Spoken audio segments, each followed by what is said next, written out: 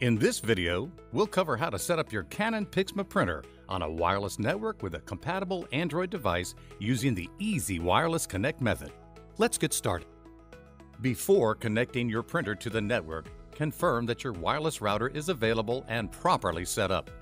Also, confirm that your mobile device is connected to the network. Make sure your printer is plugged in and turned on.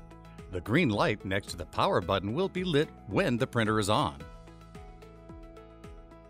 Now, check to make sure the blue Wi-Fi light on your printer is blinking. If the light is steady or off, press and hold the Wi-Fi button until the light begins to flash. Next, press the color button.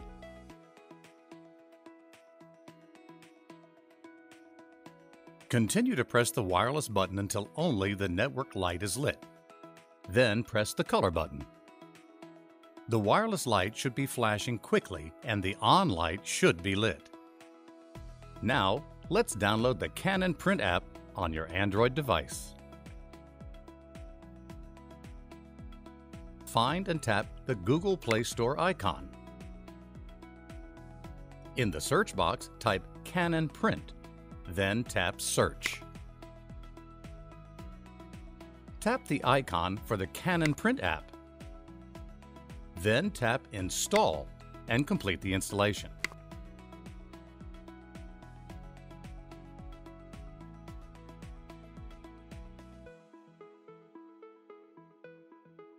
Now, let's open the Canon Print app.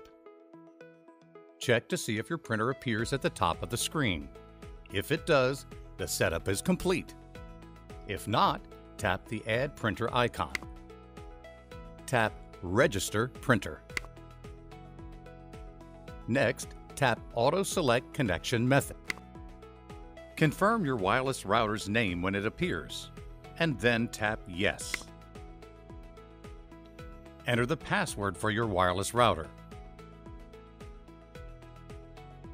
and tap OK the network settings will be sent to the printer. When this message appears, tap OK. Verify the printer is detected. Tap the name of your printer when it appears. This will select and connect the printer with your device. Tap OK. When this message appears, tap Select Images. If you'd like to test print, you'll be able to select images from your device at this time. Congratulations! This completes the setup of your Canon Pixma printer to your Android device using the Easy Wireless Connect method. Now you are ready to print or scan. For help with connecting your printer to a Mac, Windows computer, or an iOS device, please visit our YouTube channel for more videos. Thank you for watching.